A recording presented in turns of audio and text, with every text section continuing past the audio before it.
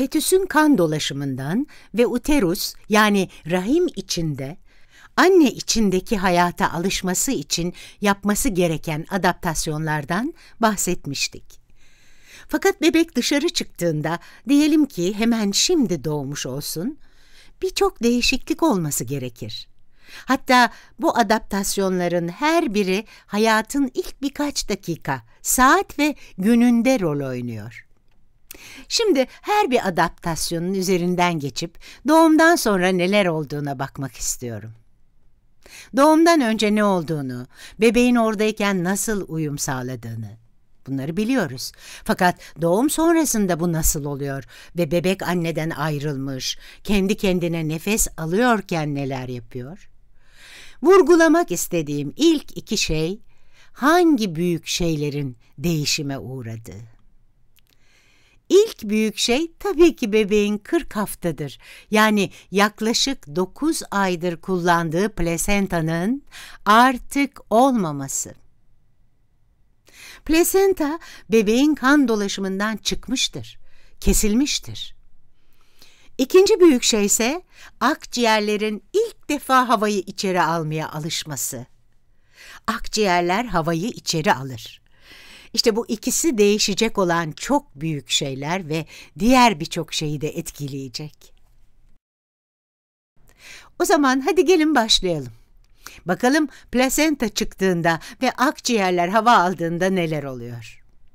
Önce plasenta ile başlayalım. Diyelim ki bebeğin doğduğuna karar verdiniz ve göbek bağını kesip göbek kordon kelepçesi koymak istiyorsunuz. Bu genelde yapılan bir şeydir. Belki filmlerde görmüşsünüzdür. Veya bir doğum izlerseniz bunun rutin olarak yapıldığını görürsünüz. İşte bu küçük bir kelepçe ve bununla göbek bağını tutturmuş oluyoruz. Eğer kelepçenin bebeği veya anneyi incittiğini düşünüyorsanız, hayır, incitmiyor. Çünkü göbek bağında sinir yoktur. Göbek bağı ile ilgili ilk ilginç şey de bu. Şu jöle kıvamındaki solgun sarımsı şeye Wharton jeli diyoruz. Wharton jeli ile ilgili hep çok ilgi çekici olduğunu düşündüğüm bir şeyi size anlatacağım şimdi. Bence bir nevi tabiat ana gibi davranıyor.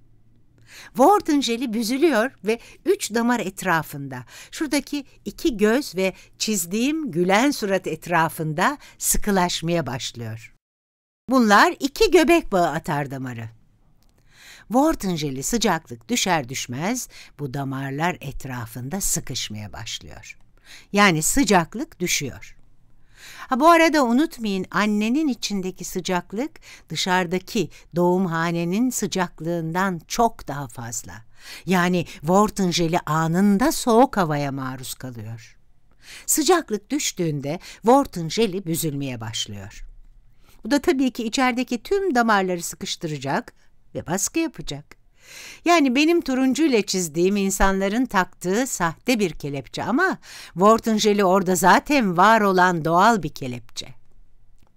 Plasentanın çok düşük dirençli olduğunu, çok miktarda kanın o yöne akmak istediğini hatırlıyorsunuzdur. Bu düşük dirençli plasentadan yüksek dirence geçiş oluyor yani. Hatırlarsanız göbek bağı damarlarından akan kan vardı.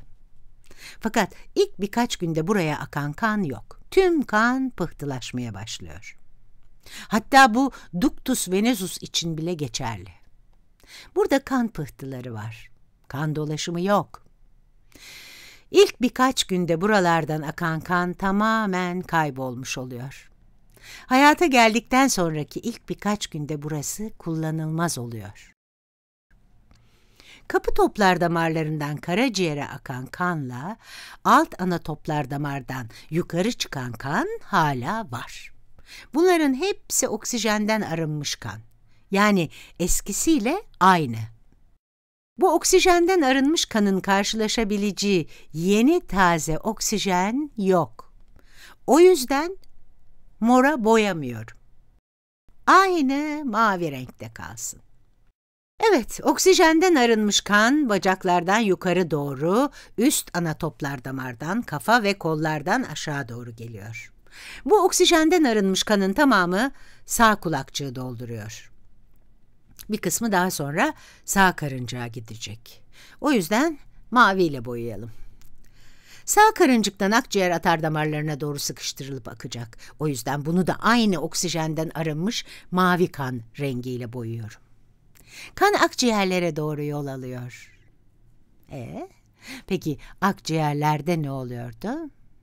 Hı?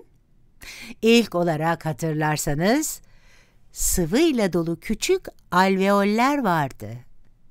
Bu sıvının yerine hava gelecek. Yani hava sıvıyı dışa atacak. Peki dışarıda ne var? Küçük kılcal damarlar var. Sıvı küçük kılcal damarlara girecek. Hatırlarsanız kılcal damardan hemen önce arteriol vardı. Biraz daha küçük çizeyim. Hmm. Evet, arteriol. Arteriol sıkışmıştı. Hatırlarsanız hipoksik pulmoner vazokonstriksiyon denilen akciğer damarlarının daralması vardı. Fakat şimdi burada hava olduğundan alveollerde oksijen düzeyleri artacak. Böylece şuradaki arteriole bir sinyal gönderilecek ve "Hey, şimdi açılma ve genişleme zamanı." denecek.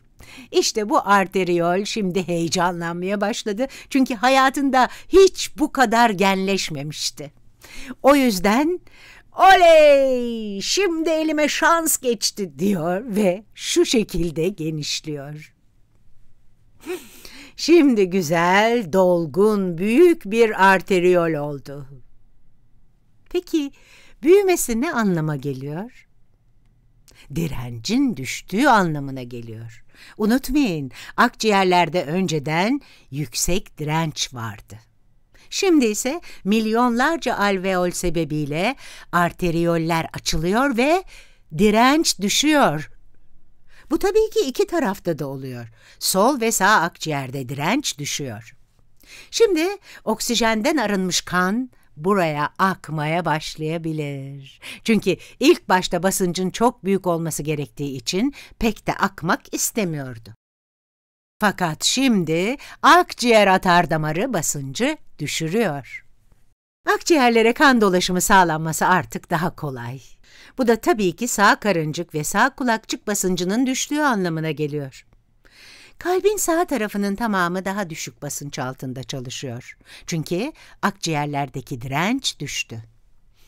Akciğerlerdeki direnç düşmüşse daha fazla kan içeri akacak ve binlerce küçük kılcal damara girecek. Aynı zamanda oksijenlenmiş olacak. Şu kılcal damarlar tüm kanı geri gönderecek ve kan sol kulakçığa akacak. Yani bu oksijenli müthiş kan iki taraftan da şu akciğer damarlarına geliyor. Şimdi tonlarca oksijenli kan sol kulakçığa boşalıyor. Bu eskisinden farklı bir durum çünkü önceden akciğerlerde fazla kan akışı yoktu. Şimdi ise çok miktarda kan buraya akıyor. Aynı zamanda sağ taraftaki basınç düştü. Sağ taraftaki basınç düştüyse foramen ovaleye ne olacağını düşünün. Öncesinde kan buradan bolca akıyordu fakat şimdi sağ tarafta basınç çok düşük olduğundan şuradaki küçük valfe benzeyen küçük doku kapağı kapanıyor. O yüzden bu doku kapağı kapanacak çünkü sol tarafta sağ taraftan daha çok basınç olacak. Bu da doku kapağını ittirecek yani foramen ovale kapalı olacak. Tüm bunlar bebek annenin dışına çıktıktan sonra birkaç dakika içinde oluyor. Bu deliğin kapandığını görüyorsunuz ve müthiş bir şey. Kan aşağı akmaya devam ediyor, sol karıncağa gidiyor. Şuraya inecek ve aortta sıkışacak. Oksijenli kan ilk defa buradan aorta giriyor. Şimdi ductus arteriosus meselesi var. En başta kanın akciğer atar damarlarından aorta hareket etmesinin sebebi akciğer atar damarlarındaki basıncın çok yüksek olmasıydı. Fakat şimdi basınç çok düşük olduğu için kan akışı tam tersine şu yönde olacak. Çünkü aorttaki basınç akciğerlerdeki basınçtan yüksek. Fakat ilginç bir şekilde hayatın ilk birkaç saatinde ductus arteriosus'taki kaslar kasılacak. Ductus arteriosus'un duvarlarında düz kaslar var. Bu düz kaslar oksijen düzeylerinin yüksek olduğunu algılayacak. Yani kandaki oksijen oranı artışını hissedecek ve kasılmaya başlayacaklar. Ductus arteriosus'un hissettiği başka bir şey ise plasentanın çıkarılmış olduğu. Böyle bir şey nasıl hissedilir? Şuradaki duktus, şurada olan plasentanın çıkarıldığını nasıl anlar? Plasenta prostaglandin denen bir kimyasal üretiyor. Prostaglandin düzeyleri düştüğünde ductus arteriosus da kapanabilmeye başlıyor. Yani çevresinde düz kaslar olan ve küçük bir atar damar gibi olan ductus arteriosus'un içindeki bu küçük kaslar oksijen düzeyi arttığında ve prostaglandin düzeyi azaldığında kasılacak. Kaslar bunu hissedecek ve kapanıp kasılmanın vakti geldi diyecekler. Bu da zamanla birkaç saat içinde olacak. Hatta hemen zaman çizelgesini çizelim. Birkaç saat içinde kasılmanın başlangıcı gerçekleşecek. Yani burası zamanla daha sıkı olacak. Hemen çizeyim. Evet, git gide küçülüyor. Belki içeride küçük bir açıklık var. Daha sonra zamanla daha da küçük bir açıklık oluyor. En sonunda hiç açıklık kalmıyor. Bunlar hayatın ilk birkaç saati içinde oluyor. Evet, kanı aşağıya kadar izlersek aorttaki oksijenli kan aşağı doğru akıyor ve sağ sonra da sol bacağa ulaşıyor. Şurada iç iliak dalları denen dallar var. Onların dışında da göbek bağı atar damarları var. Bu noktada kan hala iç iliak dallarının çevresindeki diğer dallara akacak. Mesela şu küçük dal idrar torbasına gidebilir. Fakat şu son noktadan kan akışı olmayacak çünkü direnç inanılmaz yüksek. Buradaki direnç çok yüksek olduğu için kan bu yönden gitmek istemeyecek. Ayrıca tıpkı ductus arteriosus gibi göbek bağı atar damarlarında da düz kaslar vardır. Bu düz kas atar damarları ilk defa karşılaştığı çok yüksek oksijen düzeylerine ve dolaşım halinde olan düşük düzey prostaglandinlere cevap verecek. Ductus arteriosus kasılmaya başladığı anda bu atar damarlar da kasılmaya başlar. Ortada neredeyse hiç boşluk kalmayana kadar sıkışırlar. İşte böyle görünürler. Yani duvardaki kaslar kasıldıkça atar damarlar daralmaya başlar. Daha sonra daha da daralırlar ve en sonunda şöyle görünürler. Tabii ki burada da çizdiğim gibi diğer dallara kan akışı gerçekleşmeye devam ediyor. Fakat göbek deliğine giden son kısım büzüşür. Tüm bu süreç ilk birkaç saat içinde olur. Evet, beş adaptasyonun tamamını dakika, saat ve günler boyunca nasıl değişiklikler olduğunu burada görüyorsunuz. Tabii ki bunlar her bebek için aynı değil. Fakat bu muhteşem değişiklikler doğumdan hemen sonra gerçekleşiyor.